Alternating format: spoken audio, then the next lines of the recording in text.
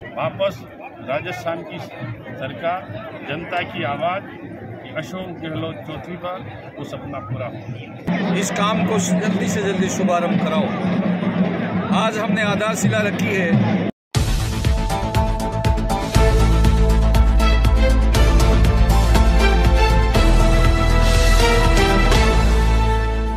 मुख्यमंत्री जी ने पीपलकोट और दरियावाद दो क्षेत्रों को पेयजल और सिंचाई सुविधा हेतु 2000 करोड़ की घोषणा की थी हमारे विभाग द्वारा नियम अनुसार निविदाएँ आमंत्रित की और वो निविदाएँ पास हुई और संबंधित ठेकेदार को हमने अपना वर्क ऑर्डर दे दिया। माननीय मुख्यमंत्री जी को इस विशाल कार्यक्रम में और बहुत बड़ी अपर हाई लेवल केनाल के शिलान्यास के लिए पधारना था। लेकिन इनका स्वास्थ्य ठीक नहीं होने की वजह से वे नहीं पधार पाए। लेकिन फिर भी उनका आशीर्वाद इस क्षेत्र की जनता के ऊपर है। उन्होंने मुझे बताया कि आपका खुद का डिपार्टमेंट का काम है। आप जाओ, मेरी तरफ़ से शुभकामनाएँ देना और इस काम को जल्दी से जल्दी शुभारंभ कराओ। आज हमने आधारशिला रखी है। कल से ये काम युद्ध स्तर पे चालू होगा और अगले दो साल ढाई साल के अंदर किसान को पानी मिलेगा। सर यहाँ की भीड़ देखते हुए किस तरह से रुझान लगाया जा रहा है? काफ़ी सारी भीड़ आई है और ये पहली बार इस क्षेत्र में माही कैनाल का शिलान्यास हुआ और यहाँ असिंचित क्षेत्र है। काफ़ी किसानों को भी फ़ायदा होगा। क्या लगता है इस सौगात को देखते हुए इस विधानसभा में कोई ऐसा चलेगा? चुनाव को देखते हुए भीड़ इस बात को साबित करती है कि लहर कांग्रेस के पक्ष में चल रही है। और ढाई हज़ार, दो हज़ार करोड़ की केनाल। और जिसमें दो विधानसभा क्षेत्र सिंचित होगा, यह एक बहुत अचंबा वाली बात है। पचास साल पहले माही का डैम बना, तब से हमारा पानी काम में नहीं आ रहा था। अब इस केनाल के बनने से किसान को पेयजल का भी सुविधा होगी और खेतों में पानी भी मिलेगा। और निश्चित रूप से आज की मीटिंग घाटोल में असर करेगी। लगता हुआ हमारा बांसवाड़ा है वहाँ भी असर करेगी। दरियावाद के अंदर भी इसका असर जाएगा और प्रतापगढ़ में जाएगा पूरे वागड़ और मेवाड़ क्षेत्र में जाएगा। आज हज़ारों की संख्या में जनता अपने घर से बड़ी टूट के आई है।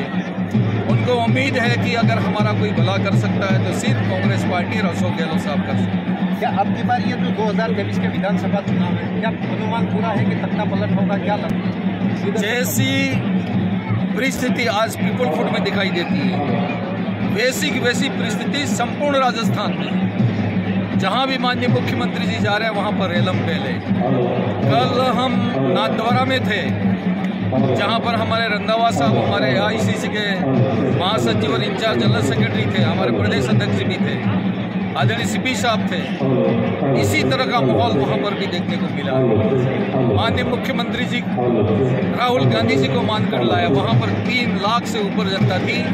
दस दस किलोमीटर तक रास्ते जाम पड़े थे। इससे ये लगता है कि संपूर्ण राजस्थान में चौथी बारह सौ गहलोत साहब आएँगे, इसका पूरी पूरी संभावना है। कम हम एक बार एक सौ छप्पन सीट लाए थे। इससे भी बेहतरीन माहौल है इस वक्त इससे भी बेहतरीन। अनुमान को फिर भी आप मैं कह रहा हूँ ना एक सौ छप्पन सीट लाए थे उससे भी बेहतरीन माहौल है। अभी पीएम आए थे यहाँ पर चित्तौड़गढ़ में बोला कि जो है सीएम खुद घबरा गए योजनाओं को अगर सरकार बदलती तो बंद कर देंगे। ये उन्होंने अपने मुँह से कहा। तो ऐसा भी क्या कयास लगाया वैसे तो अगर मानव धर्म ये कहता है कि एक राज्य ने हिम्मत करके केंद्र सरकार के बिना सहयोग से 10 गारंटी के काम देकर जनता को राहत पहुंचाई है उस राहत को प्रधानमंत्री जी की ज़िम्मेदारी बनती है कि उसको आगे बढ़ाए। और चिरंजीवी जैसी योजना पूरे संपूर्ण देश में लागू करें और गैस सिलेंडर और कम से कम साढ़े पाँच सौ पाँच सौ में पूरे देश में दें। प्रधानमंत्री जी का ऐसा मैं मानता हूँ कि देश की जनता के प्रति अगर अच्छा भाव है तो ये काम उनको करना चाहिए। इस वक्त हमारे साथ में जनजाति राज्य मंत्री अर्जुन सिंह बालोसिया भी हैं। हम उनसे भी रूबरू होते हैं। सर बताएँ यहाँ पर जो आज ये सभा हुई किस तरह से लग रहा है क्या रुझान लग रहा है? ये जन सैलाब ही आपको देखने से पता लगेगा। लग रहा है कि यहाँ के जनता कांग्रेस के पक्ष में है और कांग्रेस जीतेगी। माननीय मुख्यमंत्री जी ने जन कल्याणकारी योजनाएँ दी है। जन, जन कल्याणकारी योजनाएँ और पूरे प्रदेश में अशोक गहलोत चौथी बार के नारे लग रहे हैं। और पूरे प्रदेश में ये माहौल देख करके प्रधानमंत्री जी किसी राज्य में नहीं, राजस्थान में तीन तीन चार चार मीटिंगें कर रहे हैं। चौथी बार आ रहे हैं जोधपुर में। इससे माहौल इससे आपको स्पष्ट पता लग जाना चाहिए कि केंद्र सरकार के माननीय प्रधानमंत्री जी भी अशोक गहलोत साहब की योजनाओं से घबरा रहे हैं। ये जो और दूसरी चीज़ आपको पूछने के पहले बता रहा हूँ कि माननीय प्रधानमंत्री जी अगर भला करना चाहते हैं तो चिरंजीवी जो योजना पूरे देश में लग, लागू करें। और माननीय प्रधानमंत्री जी अगर कर्मचारियों के हित में है तो ओपीएस पूरे देश में लागू करें। बिना किसी केंद्र की सहायता से माननीय मुख्यमंत्री अशोक गहलोत साहब ने ये सारी योजनाएँ दी है। तो कर्मचारी भी खुश है, आम जनता भी खुश है और उसके साथ साथ विकास के कार्यों में भी पूरा प्रदेश गवाही है, पूरी जनता गवाही है और हम दोनों मंत्री हैं। उसके अलावा और यहाँ हमारे माननीय एम एल दरियावत भी हैं।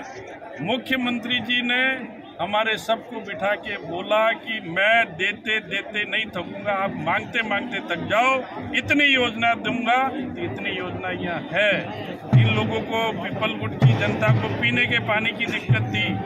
वो कैसे आशा करते थे कि हमारे खेत में पानी आएगा? पर माननीय मुख्यमंत्री जी और हमारे माननीय जल जल संसाधन मंत्री महेंद्र मालविया साहब ने उनका सपना जो अधूरा था वो सोच नहीं सकते थे। वो सपना पूरा करने का काम किया है इसलिए गाटोल विधानसभा कांग्रेस की चुनी जाएगी। सर ये जो माही कैनाल का शिलान्यास किया आप सभी ने तो यहाँ पर ये जो सौगात दी गई है जनजातीय क्षेत्र है और सिंधी क्षेत्र भी है कितने किसानों को इसमें फ़ायदा होगा क्या वरदान साबित होगी? ये बात मैंने पहले ही बोल दी है कि यहाँ की बारह पंचायतों को फ़ायदा होगा। और उस बारह पंचायतों में किसानों के खेत में पानी भी जाएगा और आगे की पंचायतों में भी पीने का पानी जा रहा है।